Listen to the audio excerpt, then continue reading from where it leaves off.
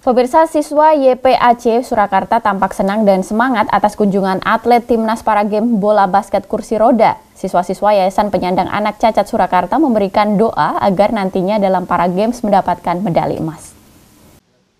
Bertepat di Yayasan Penyandang Anak Cacat Surakarta, atlet timnas bola basket kursi roda mengunjungi siswa-siswa YPAC.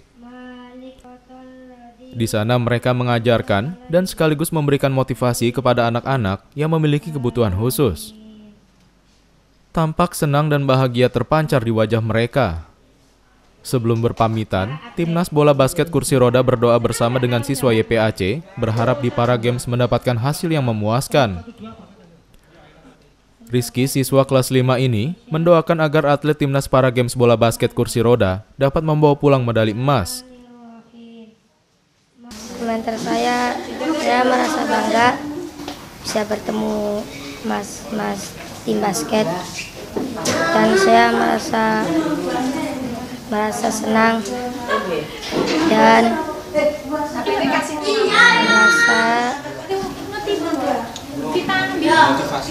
motivasi buat kita semua.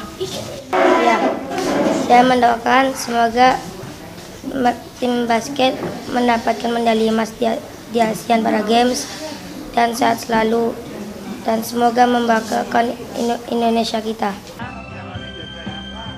Kepala Sekolah YPAC Nikma sangat senang akan kehadiran timnas bola basket kursi roda ini.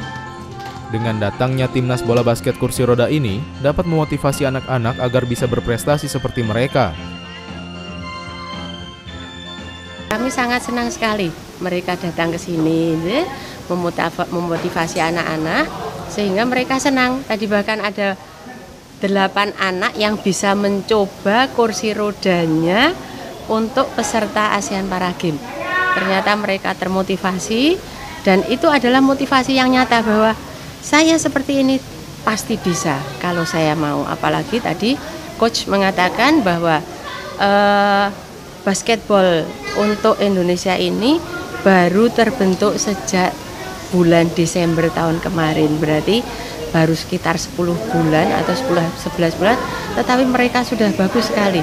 Bahkan trik-triknya tadi sudah di atraksi di sini anak-anak bersemangat sehingga tidak takut duduk di kursi roda yang baru dengan modal seperti itu tadi ada satu yang takut bagas tetapi mereka senang mereka bisa menyesuaikan dan mereka semangat saya harus bisa belajar untuk itu.